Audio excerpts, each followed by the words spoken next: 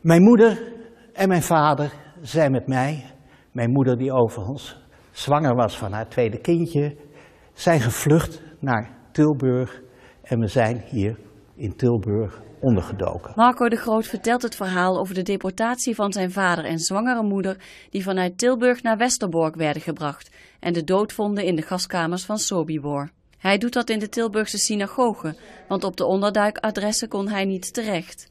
Hij vindt het moeilijk om weer in Tilburg te zijn. Tilburg kan er natuurlijk niks aan doen, maar het is wel de plek waar, eh, waar ze gearresteerd zijn allebei door verraad. En vermoedelijk verraad door Tilburgers. Hij bleef als wees achter en verloor in totaal 68 familieleden in de oorlog. Dat geldt voor veel Joodse families, waarvan soms nog maar enkele bleven leven.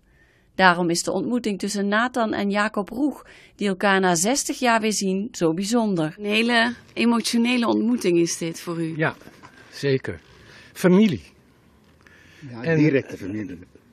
En eh, zoveel familie van vroeger heb ik niet. Ik heb gelukkig wel een hele nieuwe generatie.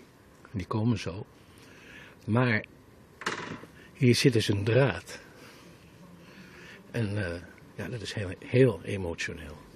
De neven zijn hier om te herdenken dat hun nichtjes hier op school zaten toen de oorlog uitbrak. Zij overleefden het niet.